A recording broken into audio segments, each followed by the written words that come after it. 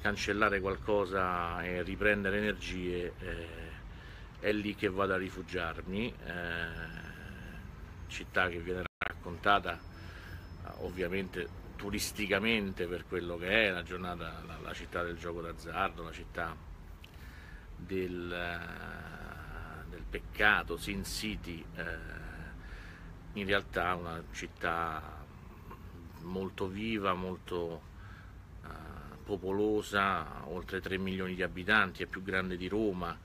Um, oggi parleremo dei fatti di Las Vegas con un punto di vista che non avete ancora ascoltato eh, sui media derivante dalla lettura, chi l'ha già fatta di o capiamo o moriamo, vedrà che i fili con, cominciano a connettersi e ancora una volta non vogliono che noi capiamo.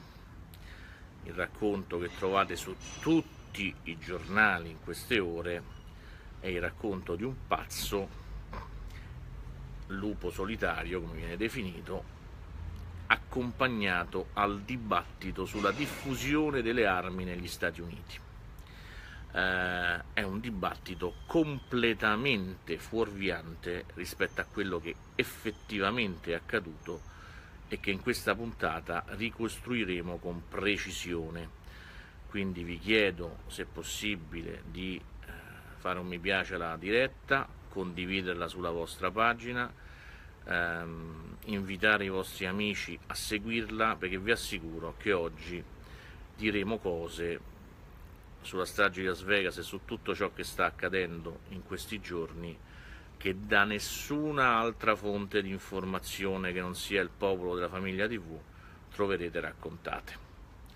Ehm, vedo molti arrivare, Jacopo Pioli ci raggiunge dalla Cina, c'è Giovanni Fiori, nostro candidato presidente al decimo municipio, il tuo presidente operaio ieri si è smazzato 525 certificati eh, al Comune di Roma per presentare eh, la lista del popolo della famiglia alle prossime amministrative di Ostia il 5 novembre. Saluto Flaminia Longobardi, Federico Pieroni, Simon Pietro Carta, Antonio Lauletta, Angelica Bosio, Giulia Vigano eh, o Vigano, Cesare Fanfani, eh, Mauro Rotunno, vi chiedo davvero, come sta facendo Mauro Rotunno, condivisa la diretta, inviti a manetta. Questa puntata di oggi, collegata alla lettura di O capiamo o moriamo, che spero che qualcuno abbia già completato, vi darà il quadro di quello che sta realmente accadendo in questi giorni. Quindi se posso chiedervi davvero oggi, facciamo capire che la PDF TV è un luogo dove si apprendono cose che l'informazione tradizionale non offre.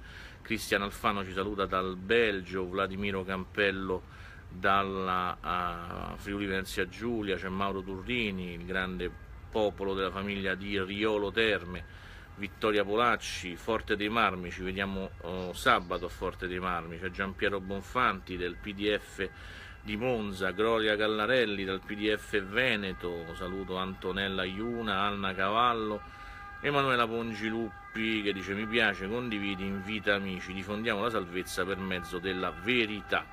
Esattamente così. Francesca Patuzzi, la bella Francesca da uh, Verona, così come la bella Giovanna Arminio da Noto in quel di eh, Sicilia proveniente da Bolzano e capite che ormai noi siamo no? un po' al limite del dolore e dell'ubiquità insomma. saluto Maria Rosa Ferratesi, Sam Manuela Miraglia Saimir Zmali, Susan Demez, Giovanni Amoroso Manuela Miraglia ha cominciato a leggere o capiamo moriamo ieri arriverà quindi nella lettura al capitolo riguardante gli attentati eh, di eh, origine islamica e credo capirà una filiera eh, di alcuni passaggi che sono fondamentali per comprendere ciò che sta avvenendo. Cosa ci illumina sempre al mattino? Ci illumina la lettura del Vangelo. Guardate, la lettura del Vangelo di oggi veramente ci dà una luce speciale, ci dà una luce speciale. E allora lo leggiamo insieme il Vangelo di Luca, siamo nel capitolo 9, i versetti sono dal 51 al 56, ascoltate questa pagina di Vangelo di oggi e capirete subito che ci illumina, illumina su quello che dobbiamo dire, fare e anche pensare rispetto agli argomenti.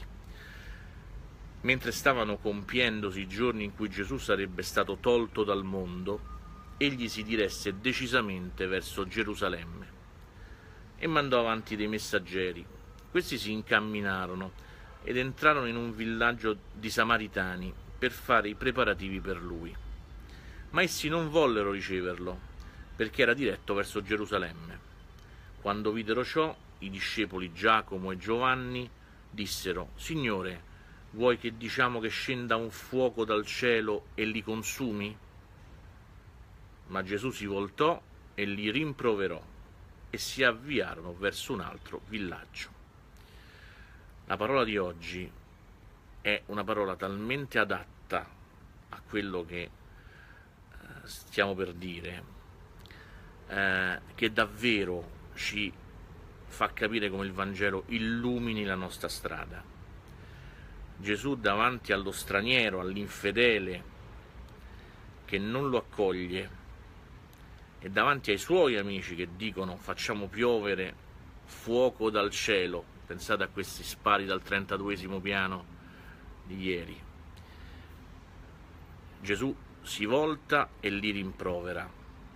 Quando noi difendiamo la nostra identità, quando noi difendiamo la nostra radice cristiana, noi difendiamo il Gesù che rimprovera chi vuole essere violento con chi è infedele.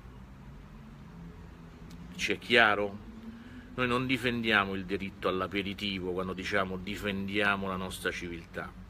Noi difendiamo il Cristo dell'amore, il Cristo dell'amore, il Cristo che davanti a colui che lo rifiuta non invoca il fuoco dal cielo, ma rimprovera coloro che vorrebbero andare con il fuoco dal cielo, perché il cristianesimo è religione totalmente altra, totalmente altra dalla religione della violenza.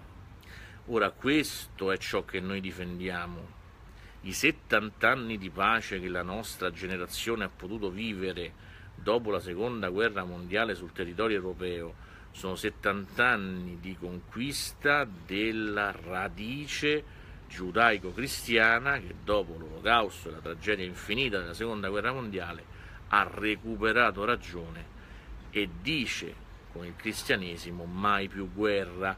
Ora questo elemento questa pagina di Vangelo spiega qual è la ragione profonda per cui noi difendiamo ciò che siamo, perché nel difendere ciò che siamo difendiamo la pace, difendiamo l'esistenza e la possibilità di coesione tra i popoli, difendiamo quello sguardo, lo ripeto, di Cristo che rimprovera i suoi stessi discepoli che vorrebbero invocare fuoco dal cielo contro gli infedeli.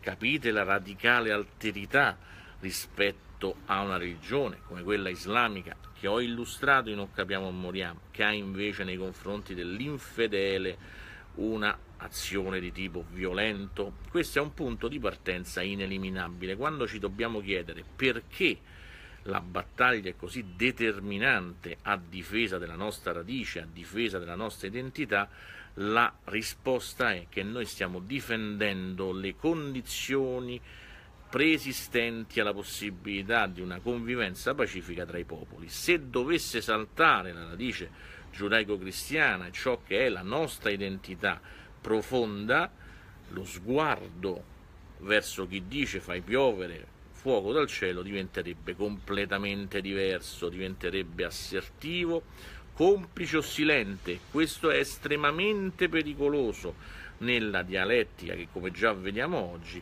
tra i popoli è estremamente capace di creare frizioni e violenze. Veniamo ai fatti di questi giorni. Chi ha letto o capiamo o moriamo sa che la lettura che io do degli eventi degli ultimi anni degli ultimi 16 anni per la precisione dall'attentato alle Torri Gemelle 11 settembre 2001 agli attentati di Las Vegas eh, del primo ottobre eh, del 2017 è la lettura di un continuum, un continuum che in O capiamo o moriamo è descritto, è descritto come? Come al solito, come piace a me, purtroppo ho questa ossessione con i fatti, i numeri, i dati, le cifre. Vi ho messo in fila tutti gli attentati che sono stati fatti, molti dei quali non abbiamo memoria, perché noi non ricordiamo, mai rimuoviamo questi elementi, ma andatevi a leggere questo capitolo eh, che è davvero, credo, un lavoro anche in termini proprio compilativi eh, e di documentazione fondamentale per la comprensione del fenomeno. E vedrete, capitolo è l'undicesimo, si intitola Il secolo del fondamentalismo islamico e racconta tutti gli attentati fatti contro i cristiani, i simboli cristiani e gli occidentali e i turisti e i resort dal 2001 ad oggi e l'elenco è francamente impressionante.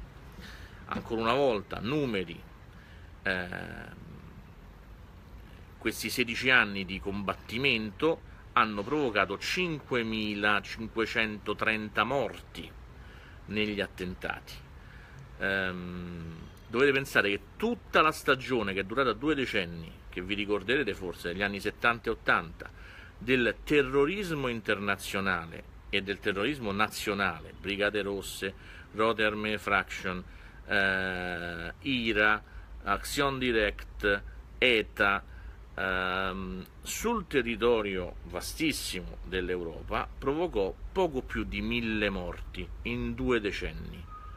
Poi qualche altro centinaio venne ancora prodotto dal terrorismo islamico di matrice palestinese, eh, ma complessivamente, diciamo, complessivamente, tutta l'attività terroristica del decenni, dei due decenni 70 e 80, strage di Monaco, complessivamente, mettiamoci tutto, di tutto il terrorismo, di tutte, ha fatto in totale meno di 1500 morti. 16 anni di attività del terrorismo islamico contro gli occidentali e contro i cristiani ha prodotto, e sto togliendo le stragi, quelle che fanno diciamo, locali rispetto alle questioni islamiche interne, sto mettendo solo gli attacchi agli occidentali, in 16 anni hanno fatto il quadruplo delle vittime. D'accordo? Leggiamo ora quello che è successo banalmente e da cronista negli ultimi quattro giorni quattro giorni e che voi probabilmente non conoscete. La sera del 28 settembre il califfato islamico, noto come ISIS, fa risuonare sui media islamici un, del fondamentalismo islamico noto in rete un audiomessaggio in cui torna a farsi sentire la voce del califfo al-Baghdadi. Abu Bakr al-Baghdadi è il capo riconosciuto dell'ISIS e veniva dato dai media internazionali per morto negli ultimi mesi, si diceva negli attacchi che si erano stati a Raqqa e a Mosul. È stato silente per molto tempo. Il 28 settembre sera si ascolta di nuovo la voce di al-Baghdadi. Tutti gli esperti compresi gli esperti occidentali dei servizi di intelligence della CIA, confermano che quella è la voce di Abu Bakr al-Baghdadi, califfo dell'ISIS. Il 28 settembre sera il messaggio ha, come ricorda bene Mauro Rotunno, dei riferimenti diretti alle minacce nordcoreane e alla guerra col Giappone e gli Stati Uniti potenziale. Quindi perché Abu Bakr al-Baghdadi fa quei riferimenti alla tematica nordcoreana? Perché proprio in quelle ore eh, Donald Trump all'Assemblea generale degli Stati Uniti aveva affermato che avrebbe potuto distruggere la Corea del Nord. Um, ehm, 28 settembre sera. oggi è 3 ottobre, dal 29 settembre alla sera fra il 1 e il 2 ottobre avvengono quattro attentati. Quattro.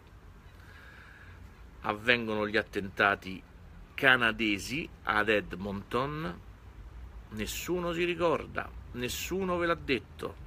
Sfido voi a avere notizia di due attentati con dei camion, anzi due furgoni utilizzati ad Edmonton. Um, c'è chi dice come faccio a ordinare il libro in formato cartaceo? È facilissimo, tutti possono comprare il libro dal marketplace del quotidiano La Croce. www.lacrocequotidiano.it slash abbonarsi trattino ora. Andate lì, lo ordinate, due giorni arriva a casa vostra. Quindi la cosa più semplice per avere o capiamo o moriamo a casa è andare sul marketplace del quotidiano La Croce www.lacrocequotidiano.it slash abbonarsi trattino ora se no in tutte le librerie comunque se lo ordinate vi arriva eh? quindi ehm, torniamo a noi Abu Bakr al-Baghdadi fa il messaggio il 28 sera, comincia questa serie di quattro attentati di cui, come dice Simon Pietro Carta, nessuno viene informato. Due attentati ad Edmonton. Due attentati ad Edmonton, prima viene, guardate un po', assalito sempre con un furgone un poliziotto, poi scende l'autista e lo accoltella, dopodiché un altro furgone, forse guidato dallo stesso che era fuggito, va a, addosso a dei civili in Canada non nella fuga, attenzione, eh, sono due momenti diversi. Lui fugge, sale su un altro camion e fa alla fine 5 feriti. Viene arrestato, dentro a uno dei due mezzi viene trovata la bandiera nera dell'ISIS.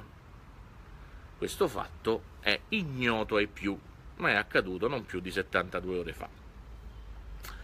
Dopodiché due donne a Marsiglia, alla stazione, vengono assalite all'urlo di Allah Akbar e vengono uccise 48 ore fa uccise urlando Allah Akbar. La morte di queste due donne è causata da un tunisino di 30 anni che guarda caso si scopre che si è radicalizzato in carcere, indovinate un po' dove, che faceva lo spacciatore tunisino, da spacciatore diventa islamista, si radicalizza in carcere e viveva in Italia, era sposata un'italiana ad Aprilia. Il racconto è qua di come funziona il meccanismo per cui un ragazzo borderline che fa lo spacciatore perché le comunità di questi paesi hanno una marea di spacciatori, leggetevi i dati sulla popolazione carceraria che trovate qui, non capiamo, moriamo alla fine si radicalizza e poi va ad uccidere e a morire, ad uccidere e a morire in quel della stazione di Marsiglia, urlando Allahu Akbar. E veniamo a Stephen Paddock. Come sapete, la sera del primo di ottobre, una persona con 23 armi automatiche dal 32 piano dell'hotel Mandalay Bay della strip di Las Vegas comincia a fare fuoco su un concerto country uccidendo 59 persone e ferendone più di 500. Numeri abnormi, mai vista nella storia del, uh, degli Stati Uniti d'America una strage commessa da un uomo solo con questo numero di morti e di feriti. Ora, seguitemi bene. Um, questa persona si chiama Steven Paddock, ha 64 anni, muore, alla fine dice si è suicidata nella camera del Mandalay Bay. Cosa vi dicono di tutti questi fatti? Li leghiamoli insieme. Cosa vi dicono le cronache sempre? Intanto non ve lo fanno sapere, di Edmonton non sapete proprio nulla. Eh, Marsiglia è diventata importante oggi perché c'è stata Las Vegas, altrimenti sarebbe scomparsa immediatamente. E poi oggi c'è Las Vegas raccontata sempre con il tema del lupo solitario. Vi dicono sempre questa espressione, la trovate sempre, lupo solitario. Cioè vogliono farvi pensare che tutti questi atti che vengono compiuti con un metodo sistematico, sistematico, siano compiuti da persone fuori di testa che fanno questi atti perché impazziscono. Signori, non è così. Dietro a questi atti c'è una regia evidente. Una regia evidente. La, I fatti di Edmonton si, riper, si, si vengono eseguiti secondo un modello che è l'assalto alle forze di polizia prima di tutto. Guardate quante volte c'è l'assalto alle cosiddette sentinelle, frase interessante, soprattutto nei paesi dove c'è la lingua francese. Sempre lo stesso metodo, furgone, agente di polizia. Poi c'è quello che fa proprio la strage. Allora vi dico, mettiamo il caso che abbiano ragione i giornali, che la discussione da fare oggi sia quella sulla diffusione delle armi da fuoco negli Stati Uniti. Ora attenzione, subito dopo questo atto criminale hanno parlato sia Trump, secondo me con un discorso molto bello rivolto ai familiari delle vittime affinché cercassero conforto nelle sacre scritture, nella fede, secondo me un gran bel discorso. Non ha fatto riferimento al terrorismo islamico Trump. E c'è stato anche un discorso di Barack Obama, attenzione, anche questa volta io trovo, uh, come è stato buono il discorso di Trump, ho trovato buono il discorso di Obama, perché Obama è uno che ha fatto sempre una grandissima propaganda sul tema della diffusione delle armi da fuoco, che ovviamente è un tema importante negli Stati Uniti e non lo voglio sottovalutare. In questo caso però Barack Obama non ha in alcun modo accennato al tema della diffusione delle armi da fuoco. Perché? Perché questa è un'altra storia questa è un'altra storia. Non è la storia di un pazzo che poiché in America si possono comprare le armi, fa questa strage perché è pazzo. Perché il giorno di ordinaria follia, persino iconograficamente raccontato nei film, è il giorno in cui uno che può disporre di uno o più armi automatiche scende per strada, nella scuola e va a sparare impazzisce e spara. È successo molte volte nella storia degli Stati Uniti. L'accesso alle armi provoca la strage di Columbine eh, e tante altre vicende e storie di questo genere. Cosa ha fatto Steven Paddock? Primo fatto, certo, l'ISIS ha rivendicato l'attentato, ha rivendicato l'attentato dicendo che Stephen Paddock, che in effetti da mesi era scomparso dai radar persino dai propri familiari, si era radicalizzato, si era convertito all'Islam e aveva assunto il nome di Al-Amriki, nome di battaglia. Questo libro vi racconta le rivendicazioni dell'ISIS. L'ISIS non rivendica mai fatti in cui non c'entra. D'accordo? l'ISIS rivendica solo stragi che ha compiuto, non ha la velleità di mettere la bandierina so- sopra ogni atto criminale. Se dice che questa cosa è accaduta, con ogni probabilità c'è stata la radicalizzazione e anche la forma di esercitazione per questo signore. E il perché ve lo spiega Maria Rinolfi che conosce bene Las Vegas a Las Vegas, se tu vuoi ammazzare 100 persone o 200 persone con le armi automatiche, non ci metti niente, è facilissimo. È facilissimo. Scendi per strada, la strip, cioè questa via, è sempre piena di centinaia di migliaia di persone, ti metti e spari. E ne uccidi 200. In 10 secondi, in 20 secondi.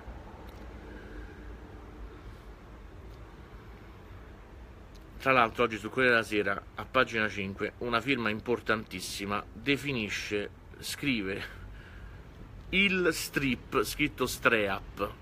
Tutto il mondo conosce la strip, è così. Dico io, perché fate commentare i fatti a gente che non ha la minima idea di cosa si sta parlando? Non ha la minima idea. Pagina 5 è il più importante giornale italiano, una delle più importanti firme italiane, parla di il streap, quando è la strip, così come si dice con la I semplice. Allora, ritorniamo ai fatti. Las Vegas ha come caratteristica quella di avere questi grandissimi alberghi. Sono 5.000, 6.000, 8.000, fino a 25.000 stanze in un solo albergo. Sono grattacieli, d'accordo? Non è semplice entrare con 23 armi automatiche in un albergo del genere, perché ci sono guardie di sicurezza sparse ovunque, tu non le vedi, ma sono ovunque. E infatti Stephen Paddock ha dovuto uccidere, uccidere un, uh, una guardia di sicurezza. Per poi salire al 32 piano e gli alberghi a Las Vegas hanno una caratteristica, non hanno finestre. Non hanno finestre. Gli alberghi Las Vegas non puoi aprire la finestra perché altrimenti succederebbe di tutto dal 32esimo, 40esimo, 45esimo piano. Tu hai un vetro pesantissimo, antisfondamento, non hai finestre che puoi aprire e prendere l'aria buona, anche perché tendenzialmente 8 mesi l'anno Las Vegas, che sta nel centro del deserto del Nevada, ha 50 gradi di calore durante il giorno. Quindi non si apre la finestra, si vive sotto aria condizionata a Las Vegas, sempre 24 ore su 24. Quindi fatemi capire bene, uno che poteva andare in strada sulla strip, uccidere 100 persone senza che se ne accorgessero prima di essere ucciso evidentemente, non fa questo. Si carica 23 armi automatiche, entra nel Vendley Bay rischiando di essere scoperto, viene scoperto, uccide una guardia giurata, sale al 32 piano, dove si è andato a registrare con il documento non proprio ma della propria compagna asiatica, entra, deve sfondare questo vetro clamorosamente difficile da sfondare, per poi affacciarsi dalla finestra del 32 piano e sparare sulla folla. Perché lo fa? Perché fa questo tipo di procedimento? Perché è stato addestrato a farlo è stato addestrato a farlo perché la finalità era colpire come al Bataclan, cioè colpire un concerto, cioè un luogo di aggregazione, creando terrore, nella stessa maniera con cui si è fatto l'attentato al concerto di Manchester, nella stessa maniera con cui si è fatto l'attentato al concerto del Bataclan, nella stessa maniera con cui è stato fatto adesso il concerto, l'attentato al concerto di musica country, perché l'Islam odia la musica. È una questione che bisogna comprendere. Questo attentato è un attentato di natura islamica, di fondamentalismo islamico, che deriva dalla volontà del califfato di colpire simbolicamente i luoghi dell'aggregazione collettiva e in particolare i luoghi dell'aggregazione musicale che ricordo per l'Islam è considerato peccato grave come il Bataclan come il concerto di Manchester. Quindi un signore è stato addestrato e probabilmente aiutato per compiere questi atti attraverso questo meccanismo preciso, non andare sulla strip e ucciderne probabilmente di più, ma andare a fare una cosa complicatissima, come andare al 32 piano del Mandalay Bay, dove sfondare la finestra che c'è il vetro antisfondamento e piovere col fuoco dal cielo, guardando un po' il riferimento al Vangelo di oggi, piovere col fuoco dal cielo, per dare un segno religiosamente simbolico di ciò che stava compiendo. Signori, questo è ciò che è accaduto a Las Vegas, altrimenti è incomprensibile, perché, lo ripeto, chiunque conosca anche solo minimamente Las Vegas sa che la strage a 100 morti si faceva con 23 armi automatiche in 15 secondi in 15 secondi. Qualcuno ha scritto, l'ho perso chi è stato, che questi argomenti non sono stati detti dai media tradizionali. Graziella Fontana dice: Quello che non capisco è perché le televisioni tacciono. Cosa c'è dietro tutto questo? La prima cosa che c'è è che non sanno, non capiscono.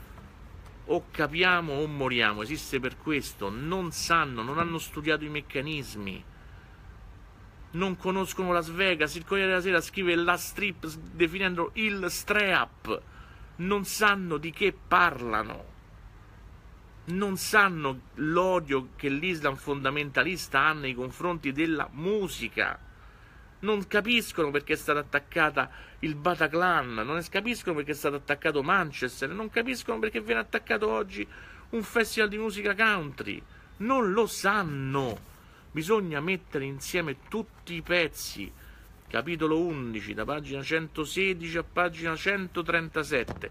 Ci sono tutti i pezzi del puzzle e basta metterli insieme, agganciarli uno all'altra per capire quello che sta accadendo. Certo, poi a Las Vegas è meglio esserci stati, così uno sa di che sta parlando, ma questi scrivono da Roma, comodi, e scrivono il strip invece della strip e vi raccontano la storia del lupo solitario che è quella che stanno raccontando in particolare i media americani per non creare il panico tra la popolazione. Fatemi salutare Guido Pianeselli da Meggiugorie, un abbraccio forte. C'è Simona Lupi, c'è Corrado Salonia, Francesco Patuzzi, non capiscono perché hanno una visione ideologica del reale, sono anche profondamente ignoranti, però quello che voglio dire, molto spesso non è neanche colpa. Questi fanno, il giornalismo italiano fa la copia dei riassunti di quello che legge sul giornalismo straniero, quando sono fatti di politica estera. Molto spesso non li capisce. Quando poi c'è di mezzo la questione religione, proprio non vuole capire, perché non deve dire che questa è una guerra di natura religiosa. Ma è assolutamente questo. Come si fa a non capire che uno su un territorio dove fa 40 milioni di visitatori l'anno come Las Vegas, dove ci sono tutte le sere centinaia di migliaia di persone dislocate su un percorso molto breve di 7 miglia, che è questa famosa strip, si poteva fare una strage con 23 sta- eh, armi automatiche immediatamente, senza alcuna fatica, andando per strada. Appunto avendo questa cosa della, uh, dell'impazzimento del lupo solitario. Massimiliano Amato dice a scuola dove c'è sua moglie, i ragazzi musulmani non vogliono fare l'ora di musica, non vogliono fare l'ora di musica, vedete cominciamo a mettere insieme i pezzi, grazie Massimiliano per questa cosa L'Islam odia la musica, il fondamentalismo islamico odia la musica. I fatti che stanno accadendo sono fatti completamente collegati. Leggetelo questo cavolo di capitolo. L'Islam, non, l'ISIS non rivendica attentati, fatti o stragi in cui non c'entra direttamente. Lo fa solo se c'è la sua matrice. Alessandra Mondelli dice indispensabile che tu vada in tv a dire queste cose. Fra mezz'ora farò un'intervista a Radio Cusano uh, in cui dirò queste cose. Racconterò tutti questi fatti, spero che questi fatti travalichino nei media mainstream, ma a me sembrano totalmente evidenti. Spiegatemi se sono irrazionale nelle cose che vi sto raccontando. Spero davvero che qualcuno di voi il libro l'abbia letto. Ho faticato mesi e vi devo dire la verità, molta parte di, di questo libro è stato scritto a Las Vegas. Quindi per certi versi c'è questo incrocio davvero che mi, mi, mi straccia il cuore, io conosco e amo quella città, nonostante tutti gli insulti che ho preso in questi anni per aver sposato Silvia proprio in quella città, ma io conosco e amo Las Vegas e quindi so la bellezza del popolo vero che l'anima, non di quello dei turisti, perché quello dei turisti non conta, che vanno lì un giorno, due, eh, io ci ho sostanzialmente vissuto, è un posto fatto da milioni e milioni di lavoratori che fanno fatica, soffrono,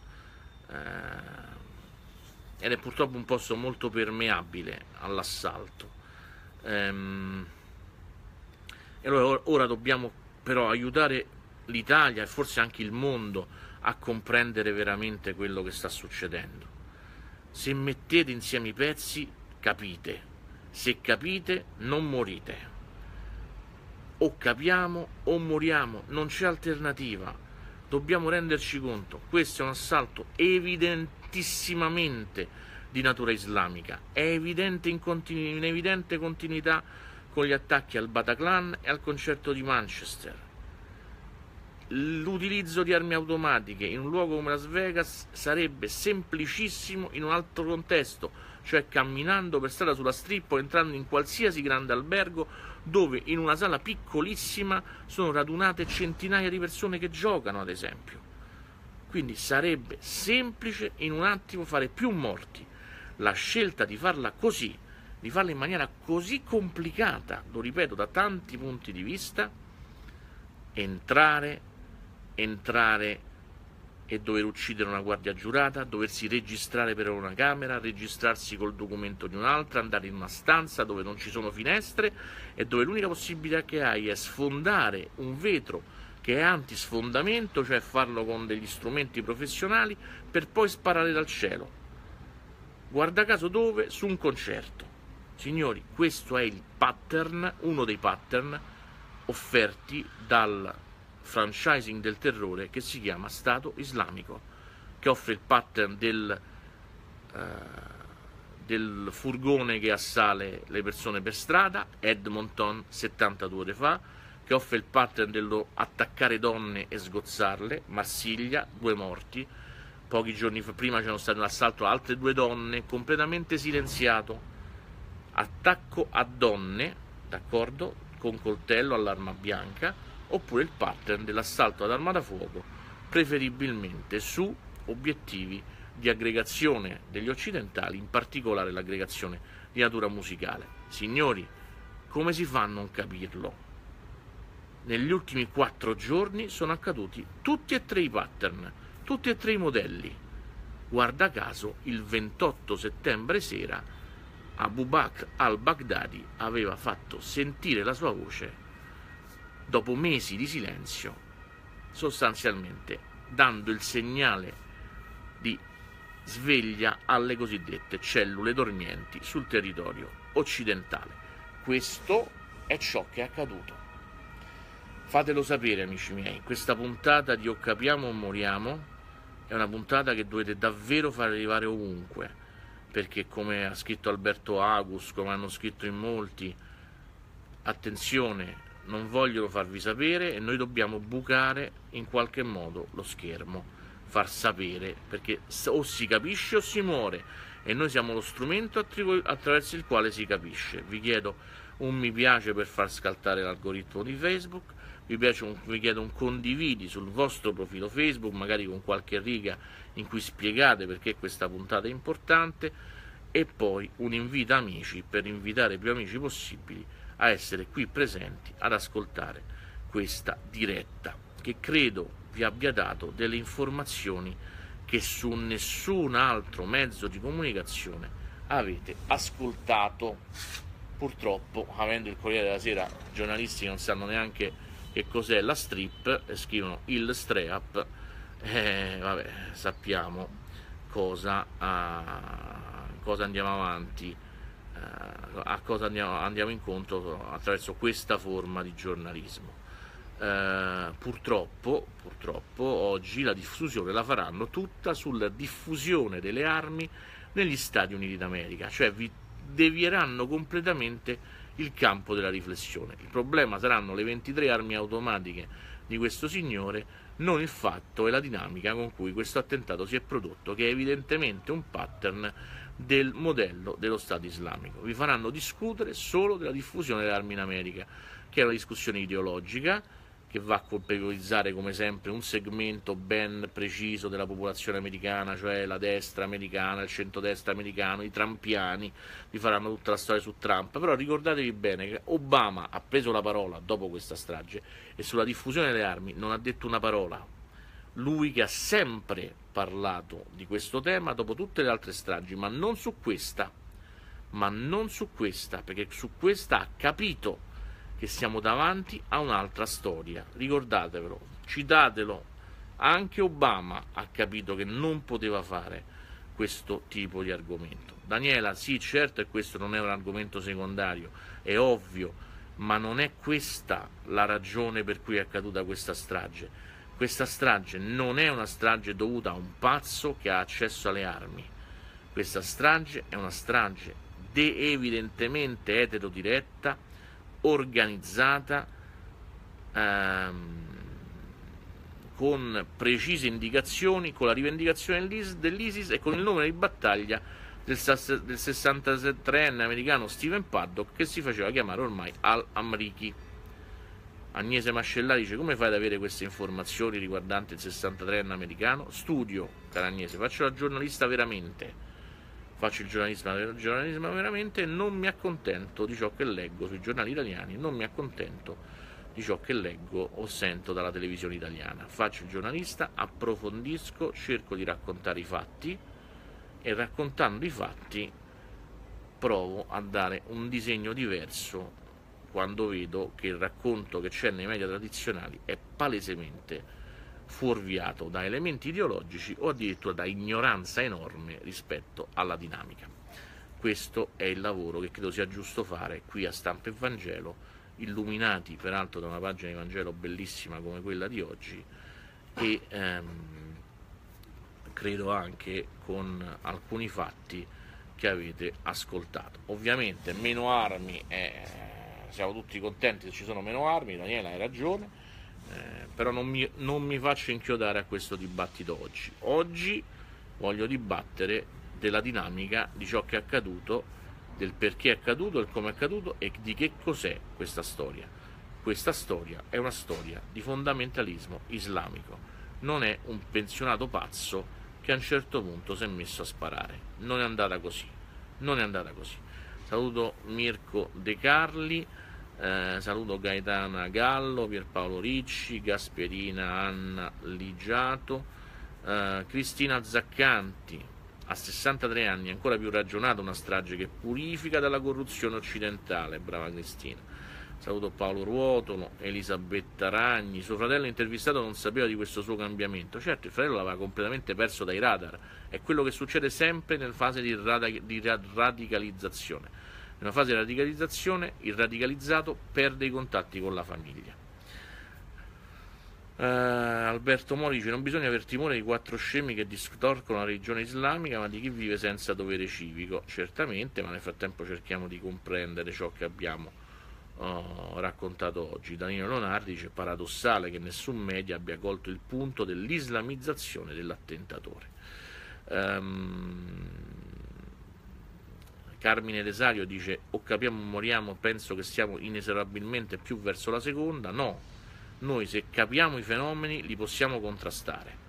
Se capiamo i fenomeni li possiamo contrastare. Saluto Raffaella Dinolfi che dice notevole trasmissione oggi, grazie. Un saluto a Raffaele. Caterina Francone, Stefano Sigali, quanto mi ha rimproverato perché lo chiamo sempre Sigali. Stefano Sigali che parla di giornalismo fasullo. Saluto Mauro Rotunno che dice condividete il video, condividetelo davvero. Saluto Roberta Palmigiani, Federico Pieroni, Alessandra Bertozzi, Daniela Tascini, Bartolomeo Zicchitella, questo sì che è giornalismo. Proviamo a farlo davvero, proviamo a farlo nella maniera più sensata possibile, senza voler mai spaventare, senza voler mai dare al lupo al lupo, ma raccontando quello che è. Se volete alle 9.30 faccio un'intervista a Radio Cusano in cui ripeterò questi argomenti, li ripeterò con grande attenzione, eh, spero di farmi comprendere e voi pregate affinché le mie parole siano chiare e che possano travalicare poi da Radio Cusano anche nel sistema mediatico tradizionale. Eh, eh come dite voi, bisogna fare informazione per capire, come dice Mauro Chialastri, e Alicia, Alicia Cortelano dice grazie per la verità che dici, grazie a voi se farete esplodere questa verità sulla rete in maniera che sia compresa, altrimenti davvero ci ha ragione Elisa Baldon, pare che sia più importante parlare del Grande Fratello, oggi c'è una paginata di intervista a Ilari Blasi sul Grande Fratello, insomma roba da, da pazzi davvero. Saluto Mario Negri, Saverio Clarizio, eh, che addirittura dice sarai la svolta del giornalismo italiano. Non sono niente, sono un, però sono un giornalista, provo a raccontare i fatti che sono, sono anche un dirigente del popolo della famiglia, dunque interessato a difendere la famiglia italiana dal possibile drammatico epilogo di questa non comprensione di un fenomeno. Saluto Monica Consigliere, Francesco Ferraro, Benedetta Caputo, Mirta Sartori, eh, un abbraccio davvero a tutti voi. Mi muovo per preparare questa intervista delle 9.30 a Radio Cusano Campus su questo argomento. C'è anche Antonella Bagno che credo oggi abbia l'esordio sul quotidiano La Croce, quindi voglio ringraziarla e farle le congratulazioni perché oggi c'è l'esordio di Antonella Bagno, il suo primo articolo sul quotidiano La Croce, il numero del quotidiano oggi ve lo consiglio assolutamente, ovviamente apre sulla strage di Las Vegas, c'è l'editoriale di una suora molto uh, impegnata sul fronte della libertà scolastica, suora Anna Moni Alteri, che eh, vi consiglio, è davvero una grande donna, è una grande sorella, il suo editoriale sulla libertà scolastica è davvero molto importante, facciamolo circolare. Il fatto che aumenti il numero di sacerdoti, come Don Francesco Morcavallo, eccolo qua, Don Francesco Colamona, quei tanti che ormai si impegnano, anche di religiosi e religiose, penso a fratello Antonio Iannaccone, appunto, sono Anna Monia, insomma tante persone che si avvicinano al nostro mondo, il popolo della famiglia, e cominciano a coglierne forse una, un elemento di forza è un elemento di incoraggiamento in più per il lavoro che stiamo compiendo. Vado a prepararmi allora um, da, um, per l'intervista a Radio Cusano Campus, voglio eh, rispondere anche a Graziella Fontana che dice perché non sei invitato da Padre Livio. Um, sapete che io ho fatto la trasmissione a lungo su Radio Maria, c'è un ottimo rapporto con Padre Livio, uh, l'impegno politico oh, ci ha fatto dire insieme che era bene non avere una, una, personalità di tipo politico che faceva una trasmissione su Radio Maria, ma c'è totale amicizia e simpatia con Padre Livio, tant'è che io finisco la mia stampa e Vangelo proprio in tempo per farvi ascoltare la rassegna stampa di eh, Padre Livio. Saluto Roberto Mura, saluto Andrea Aquilino, Alessandro Camera, eh, Francesca Patuzzi che assicura le preghiere per il mio intervento che terrò a breve su Radio Cusano. Vi ringrazio molto. Dalle 9.30 mi troverete in diretta a Radio Cusano. Vi ringrazio molto.